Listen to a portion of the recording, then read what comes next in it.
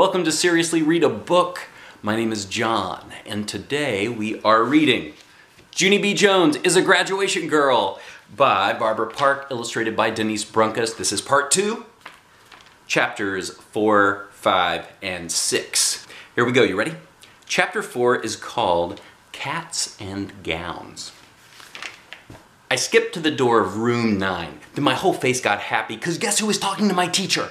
It was Gus Vallone, that's who. And Gus Vallone is my favorite janitor. I zoomed right over to that guy. Gus Vallone, Gus Vallone, it is a joy to see you. I said, and so what brings you here anyway? Gus Vallone patted my head. I had an important delivery to make, sis, he said. Just then my bestest friend Lucille came rushing up to me. She pointed to a big stack of boxes. It's cats and gowns, Junie B, she shouted. Gus Vallone brought us cats and gowns. She twirled me all around. I heard him talking to the teacher. The cats and gowns are right there in those boxes. Everyone is getting one for graduation, she said. I jumped up and down at that wonderful news, because who doesn't love cats? That's what I would like to know. Cats and gowns, I hollered. Cats and gowns, hollered room nine. Mrs. sat down in her chair real slow. Then Gus Vallone patted her shoulder and he said the word, good luck. Mrs. said for room nine to please stop shouting. I'm sorry, boys and girls, but Lucille did not hear me correctly. She said, no one in room nine is getting a cat and gown for graduation. Room 9 did a loud groan. Uh. Then what are we getting exactly? I said. Caps and gowns, said Mrs. You're all getting a cap and gown for graduation, not cat and gown. No, no, no, said Lucille. I heard you say cat, teacher. I know I did, I know I did. Mrs. said for Lucille to hush. Then she passed out the boxes to all the children. I looked inside my box, real curious. Then I kept looking and looking because something was not right in there. My cap got run over by a truck, I think, I said. It is a big square flatzo. Mrs. laughed. And then she came to my table and she unfolded my cap and she put it right on my head. Hey, what do you know? It fits, I said. After that, all of us put on our caps and gowns and we skipped all around the room, only not Lucille, because she was still upset about the cat issue, of course. And here's a picture of Junie B and her classmates skipping around in all of their graduation wear. Doesn't that look fun? Yeah, they're having a great, oh, except not Lucille. Lucille is very upset there. Yeah. Have you ever graduated from anything? Did you like it? Yeah. I've graduated from a few things in my time. It's a fun thing to look forward to, that's for sure, don't you think? And if you haven't graduated from anything, is there anything that you look forward to graduating from? All right, here we go. Pretty soon the bell was gonna ring, and so Mrs. made us put our outfits back in our boxes. I'm going to let you take these home with you today, she said, but please do not play with them on the bus. And don't play with them at home either. These caps and gowns are white, okay? And white material gets soiled very easily. I know it, Mrs. I said. I know white material gets soiled easy, because one time, my grandpa Frank Miller spilled beer on his new white tie, and you can still see beer splots on that thing. Mrs. looked and looked at me. Then she sat back down at her desk very quiet and she waited for the bell to ring. Chapter 5 A Million Bucks. Me and my bestest friend named Grace rode the bus home together. We held our boxes very tight on our laps, and we didn't open them.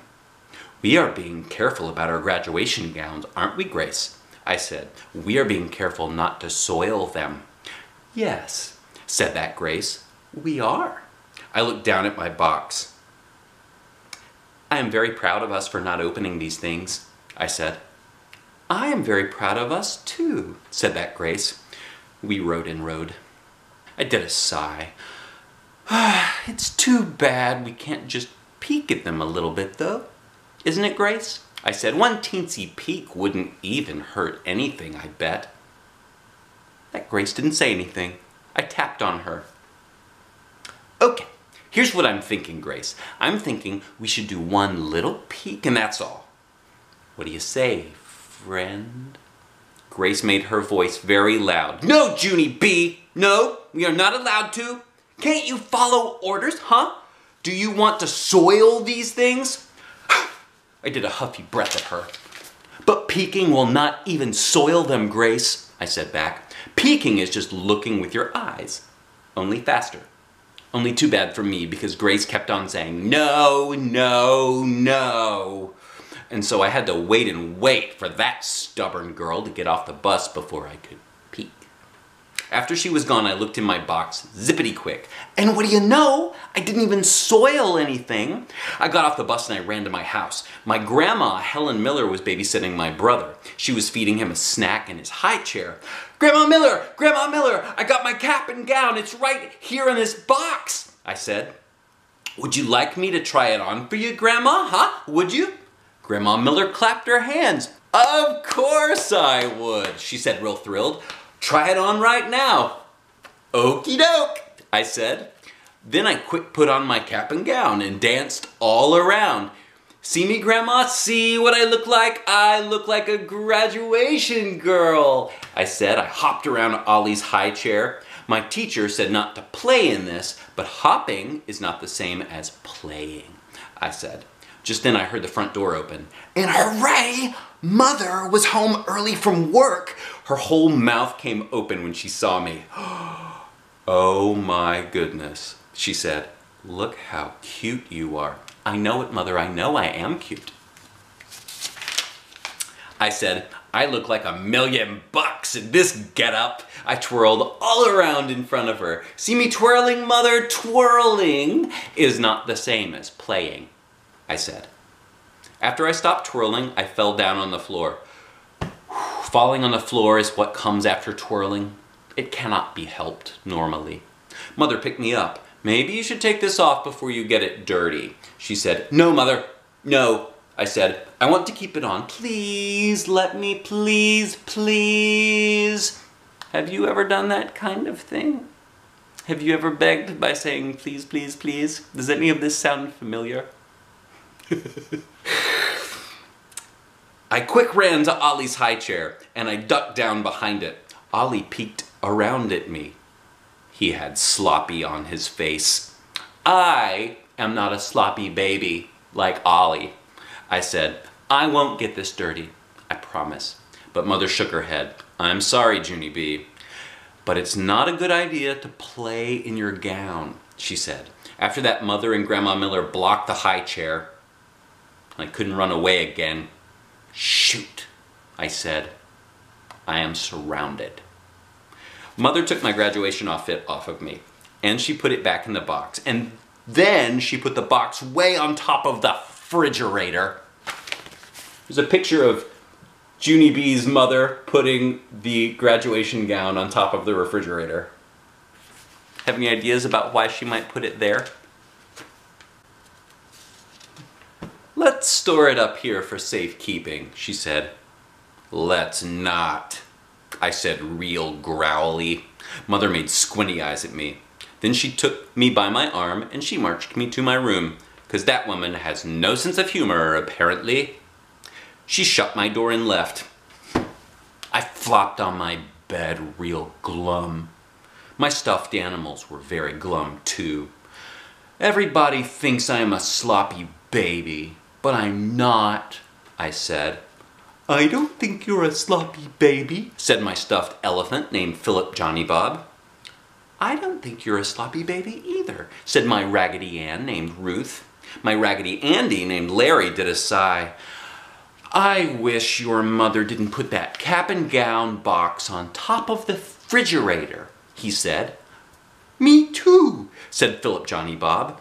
I wish you could get it down from there so all of us could see it. After that, I thought and thought. Then I lifted up his softy ear and I whispered, Maybe I can. There's a picture of Junie B. Jones lifting up Philip Johnny Bob's ear and whispering into it. Chapter 6 Pooped and Thirsty. Do you think something good is going to happen in this chapter? Let's find out. The next morning, my grandpa Frank Miller came to babysit. I love that babysitter very much, because he doesn't even follow the rules. That's why. Grandpa Miller let me fix my own breakfast. I fixed two waffles, and three marshmallows, and a bowl of cheese curls. And guess what else? My grandpa let me pour my own grape juice, and I didn't spill one single drop. See, Grandpa? See how careful I am? I said. I am not a sloppy baby, right? Right, he said. My eyes looked up at the refrigerator. I hopped down from my chair. All righty, Frank. I guess I'll be getting out of your hair now, I said. If you'll just hand me that box from the top of the refrigerator, I will be on my way. Just then, baby Ollie started to cry. Grandpa Miller patted him. I tapped my foot. Yeah, only I'm waiting, Grandpa, I said. Finally, Grandpa Miller stood up and got my box. He started to look inside, only all of a sudden, Ollie did a loud squeal. Ooh. This is a picture of Grandpa Frank Miller handing a box to Junie B. Jones and noticing that baby Ollie is throwing a fit. This is all going according to plan for Junie B. Jones, don't you think? And he put his whole bowl of cereal right on his head. Oh, that's what's going on with baby Ollie. Look at that. He's very happy. He's very proud of himself for pouring cereal all over his own entire self. Oh my goodness, hollered my grandpa. Then Grandpa Miller shoved the box right at me and he hurried to clean Ollie's head. I zoomed to my room, then I locked my door and I waved my box all around. I got it, guys! I got it! I got it! I said, Hooray! said Philip Johnny Bob. Hooray, hooray! said Raggedy Ruth and Raggedy Larry. After that, I sat those guys on my bookshelf and I put on my graduation gown. See me, friends? I said, see how cute I look? I am a graduation girl, see? Wowie, wow, wow, they hollered. After that, I danced and skipped and hopped and twirled because they wouldn't stop cheering, that's why. Finally, I flopped on my bed. Okay, that's enough, people. I said, I am pooped and thirsty. Me too, said Raggedy Larry. I am pooped and thirsty too. I wish we could get something to drink, said Raggedy Ruth. Just then a brainstorm came right in my head. I sat up very straight. Hey, wait a second. I just learned how to pour grape juice without spilling a drop, I said. And so I can go get us some maybe. Yes, said Philip Johnny Bob. Yes, yes, said Raggedy Ruth and Raggedy Larry. I hurried to my door and I listened in the hall. Grandpa Miller was giving Ollie a bath. Shh, I whispered to my friends. You wait here. I'll be right back. After that, I tippy-toed to the kitchen speedy quick, and I poured us a cup of grape juice, and I tippy-toed right back again. And so, that is the end of part two of Junie B. Jones as a Graduation Girl by Barbara Park, illustrated by Denise Brunkus. If you liked this video, please like and subscribe and click the bell and you'll get notifications when we upload new videos. The next video to be uploaded is part three, which is chapter seven to the end. Do you think anything good is about to happen? As Junie B takes grape juice back into her room where she has her white graduation gown? We'll find out! Come back next time! All right, have a great week. I'll see you soon.